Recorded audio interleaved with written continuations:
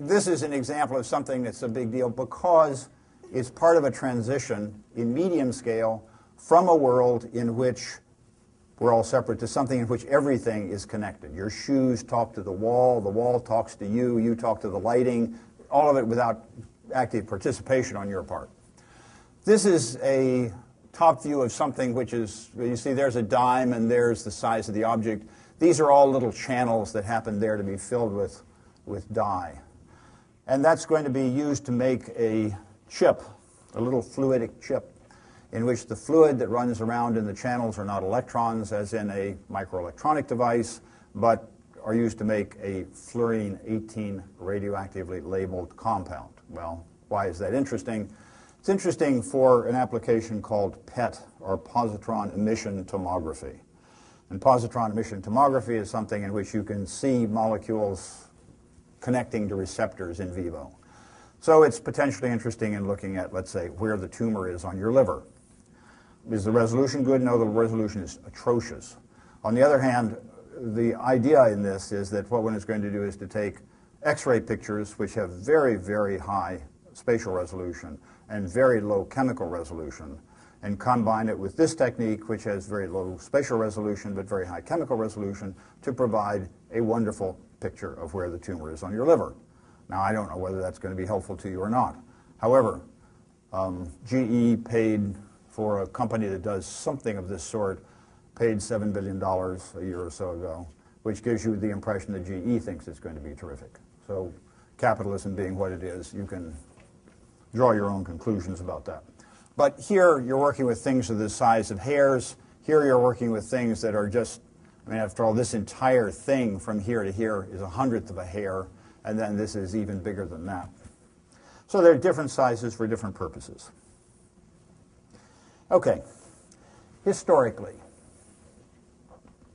why is it that you've heard about nano but haven't heard about quantum optics or haven't heard about some of the other things that go on? There are a whole series of really interesting opportunities at any time in science and technology for to emerge something to emerge as the the uh, Celine Dion of the world, the world of physical science. Just think about some of the ones. My personal bet is the one that's going to change the world in the next period of time is intelligent machines. Because in the great competitions between the developed world and the developing world, the big difference is basically cost of labor. We can never compete on that basis, so what we will do is make machines that eliminate labor with unusual consequences for the future. But there are a lot of other interesting things here, and sustainable is certainly an interesting one. Why is that not the same buzz? It's actually getting there, but not been the case. Technology for globalization, soft robotics, whatever it might be. How is it that nano emerged as the flavor of the moment, and what's the background for this? Is it a unique opportunity? Well, no. The reason it emerged is a complex set of parameters which in combination have set off this interest. The first idea is something which was basically, I, how do I put this, really politically correctly and politely, it was nonsense, um, which was the original idea of little anti-cancer submarines. There was a notion that you could take the machines that we see in the world and simply make them smaller and smaller and smaller, and then you put them in the bloodstream, and they go and find cancer cells, or they, the one that people worried about was something called the assembler, which was supposed to be like a little robot that would pick atoms out of the environment, make more of itself, and expand exponentially. Just total nonsense. But sort of neat nonsense. So everybody likes to go to bed with this little frisson of terror going down their back, so long as they don't really believe it's true. That was called Grey Goo. That caught the attention. There's some very real opportunities here. Um, the science, as in automobiles, selling, as in teaching, as in anything, is always a melange of self-advertisement and reality and accomplishment and promise and whatever. The ratio of hyperbole to reality here has been, it gives you great confidence in the species. The enthusiasm sometimes exceeded the reality. Science politics, one of the issues here was that there is a general appreciation if you're in the world of science policy, that the United States allocates too many resources, too large a fraction of its resources to public health. Um, what's changed the world in the last period of time has not been genomics, it has been information. I mean, our world has been rewired by the internet. Um, it hasn't been rewired by the genome. But most of the money has gone into the genome in the last period of time. So how does one correct that in a political world? And the answer is you find some part of the politics in which all the sciences can get together, and that's turned out to be nano. There are some really big deals in terms of technology, which we'll come to. And then not a small thing is that one of the areas that makes things happen in the United States is the venture capital world. And the venture capital world was looking for a what's called new new thing at the time that nano was first emerging, and so it picked on nano as being an interesting subject. And in venture capital, you don't really care how things work out in a certain sense so long as there's a lot of stirring of the pot. Okay, so I want to organize the discussion of the subject in terms of six ideas three in science and three in technology. I'm going to pass very briefly over this issue of quantum phenomena, but I want to make it evident that this is part of the story. The ability for the first time to look at single atoms and molecules, to actually see them. And I'm a chemist by background, and it is remarkable that my entire career was spent talking about atoms and molecules, although I've never seen a molecule. I mean, I infer it's there, but I've never actually seen one. For the first time, it's possible to see them. A whole bunch of neat things in terms of the cell and biology. And then the, the technologies are the dominating one is information. The one that is probably the newest at the moment is materials. And then what I think is going to end up being the biggest deal is energy, water, the environment, sustainability, and so on. Those are the ones that are going to make a big difference. So that's the organization. Now, let's start here. This is something you've all seen. It's just a prism. And in the prism and in diffraction is essentially everything you ever want to know about quantum mechanics. I mean, diffraction has it all. And in particular, it has, to me, one of the most unnerving equations in natural science, which is this one which is very interesting. I'm a teacher, you're a teacher. I suspect you have the same problem that I do, which is it is sometimes very difficult to get students to appreciate that an equation is, is telling you something. You know, it's not just a black box in which you drop pennies and something comes out at the end. To me, an equation is very much like poetry. And what it is is a description of reality in a form that we can't otherwise really describe. This one says that for electrons or things of that sort, that the wavelength of the electron, we'll say, is related to mass and velocity, that is the momentum. The thing that's amazing about this is wavelength, this is wave, and momentum, that is particle. And so that's an expression of the wave-particle duality.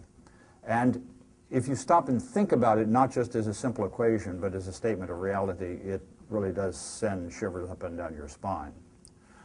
Now, the last time I used this slide was for a course that I'm giving, and I, I used different poems, and I'm sorry I forgot to really change it.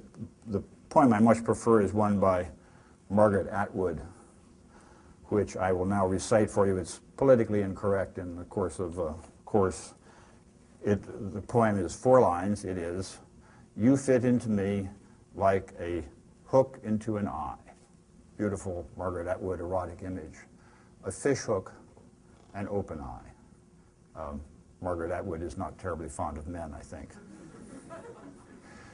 but that's an expression of reality in a very economical way. This and this are, you know, they're the same kind of thing. We just need to think about it. But this gets into the issue of why is it that if I take an electron and flick it at the wall, it goes through, if I do it the right way, and if I take you and you flick you into the wall, you're really very, very annoyed because whatever happens, you don't go through the wall. And when you and I discuss it afterwards, I'm likely to lose teeth. And if any of you would like to discuss the nature of reality as it is, it's one of my favorite subjects. It really is extraordinarily interesting. All right, single atoms and molecules. Here the issue is a an idea that, that before was really very unexpected. And that is when we see something, you know, to see means photons and eyes. Basically, that's the idea. And the question is when you go to something that's very small, small enough that diffraction tells you that you can't see it, how do you see it? And the answer that turned out to be the right answer, and a little bit unexpectedly, was you feel it. And of course, the reason for that is that if I feel something, the uncertainty in the contact of surfaces is in the order of the van der Waals uh, interaction. It's the size of, a, of an atom, which means really a tenth of an angstrom or something like that. There's no uncertainty down to that point. With light, there's an uncertainty at hundreds of nanometers. So it turns out that the way that you see, see in quotes, atoms and molecules is by various devices that are basically fingers of one or another kind. And the classic atomic force microscope is something in which I have a finger, and I bring the finger down and, you know, feel my wrist that way. As I try to bring this over, my arm has to rise up a little bit. And you can detect that motion, the motion of a finger here, feeling a surface that has atom-sized bumps on it by watching tiny deflections in this arm, the cantilever arm, in a device of this sort. So there's the sample. Here's the cantilever, which with the finger that feels things, you shine light from a laser down on this. It reflects into a position-sensitive detector, and you can detect changes in that position of you know, easily a tenth of an angstrom by um, watching where the beam is deflected over there. So here is the a real picture of what one sees here. This is from Don Eigler, and it's a kind of poster child for this area. Each of those things that you see is an iron atom on a copper surface. So you're really seeing atoms. I'm so happy to see them. I know they exist for the first time. And then what you often see is a picture of this sort, and it's a representation of what this is supposed to be, but this is what you really see. An atom, of course, doesn't look like an ice cream cone. An atom is a sphere, but if I try to bring a probe over that, the probe will, will make a kind of inverted pyramid shape. It can't feel underneath the sphere. So that's why these things have a kind of ice cream cone shape. This series of ripples in the background is just like water in the bathtub. It is fundamentally ripples in the electron sea, the sea of electrons that's in the surface. And what you're seeing here, if you see a point there and a point there, that's exactly the same thing as the Whispering Gallery in Washington when you take the kids down to see that. You stand here and the sound is reflected to there and there's a standing wave in the electrons. So the phenomena are basically very much the same. If you understand, if the kids understand these simple things of how electrons move around atoms, it turns out that you can construct the periodic table in a way that makes perfect sense. The periodic table is just the hydrogen atom and the quantum mechanics of that being worked out. And here's what a finger actually looks like. It's, here's a tip. And then this particular finger has a long projection, which is a carbon nanotube. That's 10 nanometers, so this is about 2 nanometers across, means four gold atoms.